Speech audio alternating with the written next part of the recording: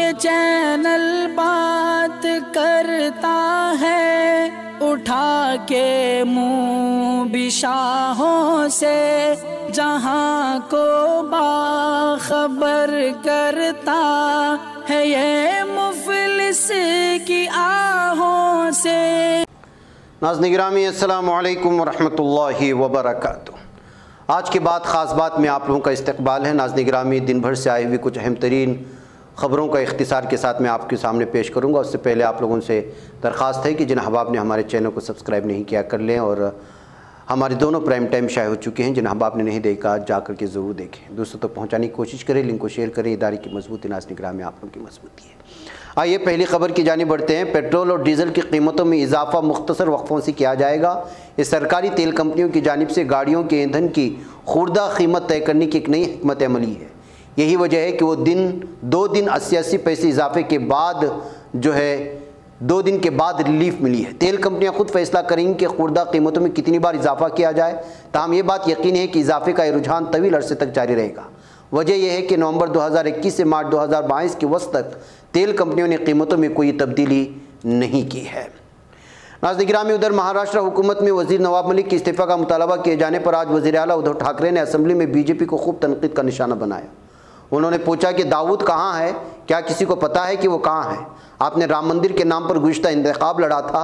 अब क्या आप दाऊद के नाम पर वोट मांगने जा रहे हैं? क्या ओबामा ने लादीन के नाम पर वोट मांगे थे? हिम्मत है तो दाऊद को मार डालो, ये कहकर के उसने सवाल उठाया है। नाजिन इधर महँगाई की मार को लेकर के भी सवाल उठाए जा रहे हैं। कांग्रेस ने जुमा को महँगाई के मसले पर हुकूमत को घेरते हुए कहा कि हुकूमत बढ़ती हुई महँगाई के लिए रूस और यूक्रेन के दरमियान जंग को जिम्मेदार ठहरा कर अपनी नाकामी छुपाने की कोशिश कर रही है। लोकसभा में फाइनेंस बिल 2022 पर बहस का आगाज़ करते हुए कांग्रेस के गौरव गोगोई ने कहा कि अवाम महँगाई की वजह से परेशान है। बेरोजगारी बढ़ रही है, लेकिन हुकूमत सिर्फ़ झूठे वादों और नारों से अवाम को बहला रही है। नाजिन आज योगी आदित्यनाथ ने लगातार दूसरी मुद्दत कार के लिए उत्तर प्रदेश के वजी अला अहदे का हलफ ले लिया। इनके साथ बावन लीडरों ने वजारत का हलफ लिया। दिलचस्प बात यह है कि योगी काबिना में एक मुस्लिम नाम भी शामिल है, जो लोगों के लिए हैरत का सबब हो सकता है। कई लोगों को हैरानी इसलिए होगी क्योंकि यूपी असम्बली इंतबात में बीजेपी ने एक भी मुस्लिम उम्मीदवार को टिकट नहीं दिया था। इस ताल्लुक से पार्टी पर सवाल भी उठे थे और एक बयान में मरकज़ वजी दाखिला अमित शाह ने वाजे लफ्ज़ों में कहा था कि ऐसे ही उम्मीदवारों को टिकट दिया जा सकता है जिनकी जीतने की उम्मीद हो। बहरहाल योगी काबिना में जिस मुस्लिम शख्स को शामिल किया गया है, उनका नाम दानिश आज़ाद अंसारी है। उनका ताल्लुक बलिया से है, जो यूथ लीडर हैं। उन्हें अकलीती महाज का वज़ीर बनाया गया है। दानिश बीजेपी अकलीती महाज के रियासती जनरल सेक्रेटरी हैं और तालब इलमी के दौर से ही ए बी वी पी यानी अखिल भारतीय विद्यार्थी परिषद से जुड़े रहे हैं। नाजिन आइए शिवसेना बाला साहेब ठाकरे जम्मू कश्मीर यूनिट ने जुमा के रोज़ यहाँ पेट्रोल और डीजल रसोई गैस की कीमतों में हो रहे इजाफे के खिलाफ एहतजाज दर्ज किया है। एहतजाजियों ने हाथों में प्ले कार्ड्स उठा रखे थे और वो महँगाई से राहत दो जैसे नारे लगा रहे थे। नाजिन पंजाब में इकतदार संभालने के बाद वजी अला भगवंत मान के बाद दीगरे कई फैसले ले रहे हैं। नया फैसला अरकान असम्बली की पेंशन से जुड़ा हुआ है, जो अरकान असम्बली को भले ही पसंद ना आए, लेकिन आवाम ज़रूर खुश होंगे। जुमा के रोज़ भगवंत मान ने अरकान असम्बली की पेंशन के फार्मूले में बड़ा बदलाव करने का ऐलान कर दिया। पहले कोई लीडर जितनी बार रुकन असम्बली बनता था, उसकी पेंशन की रकम बढ़ती जाती थी, लेकिन अब अरकान असम्बली को पहली मुद्दत कार के मुताबिक ही पेंशन मिलेगी। नाजन ग्रामी दहली के तीनों कॉरपोरेशन को जम करके एक करने के लिए मुजवजा बिल को आज अपोजिशन के एहतजाज के दरमियान लोकसभा में पेश कर दिया गया। वज़ीर ममलिकत बरए दाखिला नित्यानंद राय ने दिल्ली म्यूनसिपल कॉरपोरेशन तरमीमी बिल 2022 को पेश करते हुए कहा कि इस बिल की मंजूरी से दिल्ली के म्यूनसिपल निज़ाम में यकसानियत आएगी, पॉलिसियाँ ठोस होंगी और तनख्वाहों की अदायगी जैसे मसाइल होंगे, मसाइल हल हो जाएँगे, मुलाजिमिन के मसाइल हल सकेंगे उन्होंने कहा कि यह बिल दिल्ली के बाशिंदों के मफाद में है। नाजीन, कलकत्ता हाईकोर्ट ने हुक्म जारी करते हुए मगरब बंगाल के बेरभूम में टीएमसी लीडर के कत्ल के बाद बर्पा होने वाले तशद और आगजनी की तहकीक़त सी बी आई की सुपुर्द कर दी है। ख्याल रहे कि बेरभूम ज़िले के रामपुर हाट में टीएमसी लीडर के कत्ल के बाद तशद भड़क उठा था और यहाँ के घरों को नज़र आतिश कर दिया गया था। आग से झुलस कर दो बच्चों समेत आठ अफराद जाँबाक हो गए थे। हलाक शुदगान में तीन खवतिन भी शामिल थीं। इस मामले में अब तक बीस लोगों को गिरफ़्तार किए जाने की खबरें आ रही हैं। नाजन ग्राम उधर हाईकोर्ट ने मगरबी बंगाल के बीरभूम ज़िले के बोगताय गाँव में कतलेआम का खुद नोटिस लेने के बाद रियासती पुलिस ने तृणमूल कांग्रेस के ब्लॉक सदर को रामपुर हाट से गिरफ़्तार कर लिया है। इसे बीरभूम ज़िले के बोगताई गाँव में आठ लोगों के बेहमाना कत्ल के सिलसिले में गिरफ़्तार कर लिया गया है। नाजिक ग्रामी कम्युनिस्ट पार्टी ऑफ़ इंडिया के जनरल सेक्रेटरी सीताराम येचुरी ने बीजेपी को अलग थलग करने और शिकस्त देने के लिए जमहूरी ताकतों को सबसे मज़बूत महाज बनाने की अपील की है। सीताराम येचूरी ने सभी जमहूरी ताकतों से मुल्क को बचाने के लिए बीजेपी के खिलाफ आगे आने की गुजारिश की। उन्होंने सीपीआईएम की रियासत सती मीटिंग में कश्मीर में कहा कि बीजेपी मुल्क भर में हालात को फिर वाराना बनाने की कोशिश कर रही ये सिर्फ़ कश्मीरी पंडित ही नहीं थे जो वादी में मुतासर थे, बल्कि मुस्लिम सिख और दीगर भी दहशतनाक हालात के शिकार हुए थे।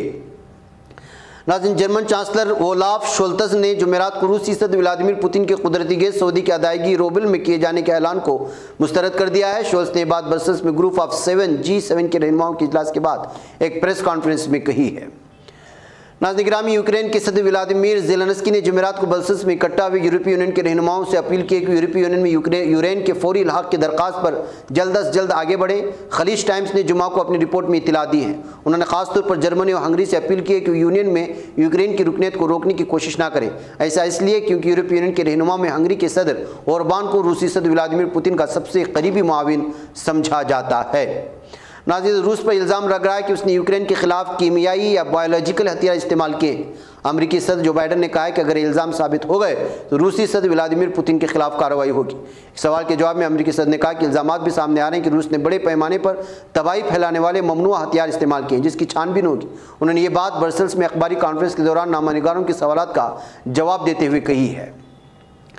नाजिन सेवन जी ममालिक के रहनुमाओं ने रूस के खिलाफ इकतदी और माली पाबंदियों को मुकम्मल तौर पर नाफिज करने के अज़म का इजहार किया है। बेल्जियम के दारकूमत बरसल में मुनदा सरबरा इजलास के बाद जी सेवन ममालिक के रहनुमाओं ने मुश्तर बयान जारी किया। बयान में कहा गया कि हम रूस पर ज़ोर देते हैं कि यूक्रेन के तमाम इलाकों से अपने फौजी अफवाज और साजो सामान वापस लें।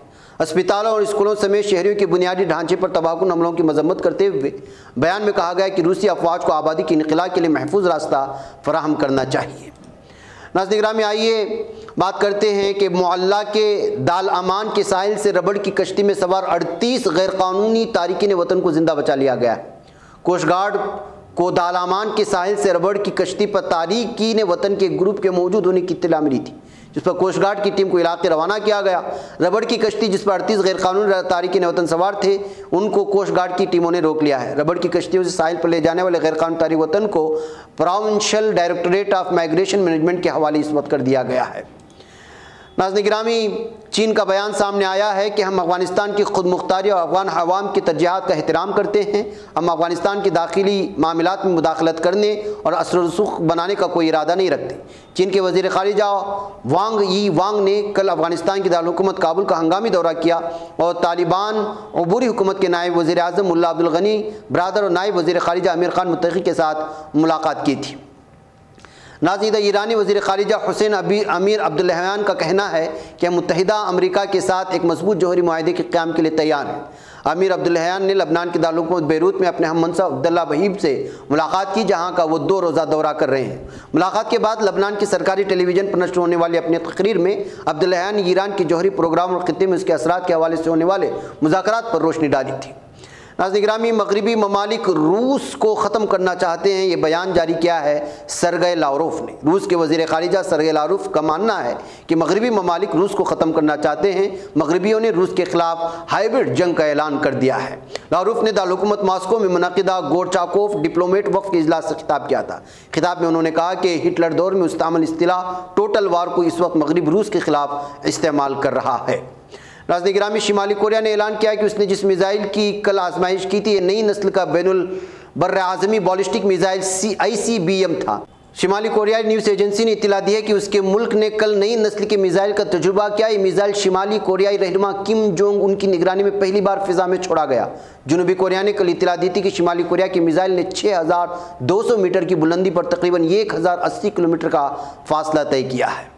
मैं गैब नासिक में आज के बाद ख़ास बात में बस इतना ही। आज मुख्तलिफ़ जो मुल्क भर से, बल्कि बैन अवी सतह की जो खबरें थी, वो आपके सामने रख दी गई। मुझे इजाज़त दें, इंशाल्लाह, फिर आप लोगों से मुलाकात होगी। अल्लाम वरहमल वर्क ये चैनल हक निगर बन कर कुचल देता है फितनों को। अगर गंदी हो पॉलिसी तो मरते देख कितनों को। इसी बाज़ार में बिकते हुए देखा है सपनों को। सभी यकसा है ये पैगाम दो गैरों को अपनों वतन अहले वतन का है? गुले बेखार सीधी